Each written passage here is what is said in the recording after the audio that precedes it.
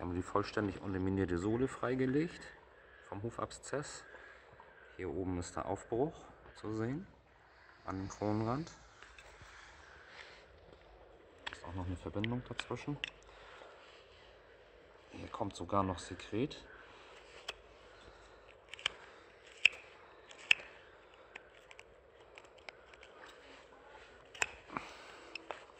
Da kommt noch was raus.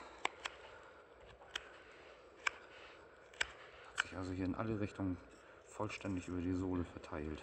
Bis in die Eckstreben und auch unterm Strahl.